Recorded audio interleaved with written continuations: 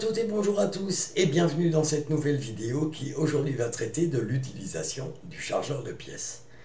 Alors comme vous l'avez vu dans mes vidéos précédentes, je me fabrique moi-même mes chargeurs de pièces. Donc j'ai une pièce que je vais présenter à mon public et j'ai une pièce que je vais charger en main gauche. Donc mon chargeur est fixé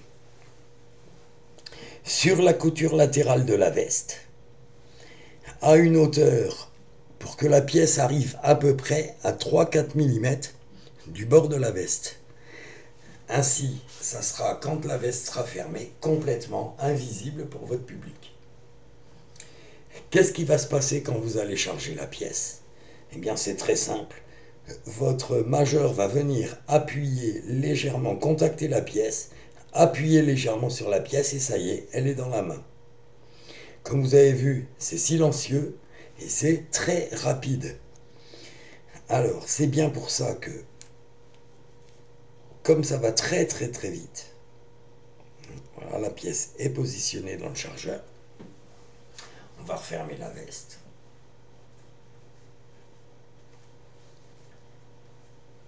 Donc, vous arrivez devant votre public, vous montrez évidemment vos deux mains vides et vous montrez que vous avez une pièce d'un demi-dollar. En général, en France, les gens ont très rarement vu des pièces d'un demi-dollar. Donc, vous voulez l'examiner? Oui, ben, examinez-la et ça y est, le geste est fait. Vous avez chargé votre pièce. Les gens examinent. Pendant qu'ils examinent, vous empalmez, soit au classique, euh, soit à l'empalmage au doigt. Et puis, euh, une fois que votre public vous rend la pièce, eh bien, vous n'avez qu'à continuer sur votre routine. Hein, comme vous avez vu, c'est extrêmement rapide.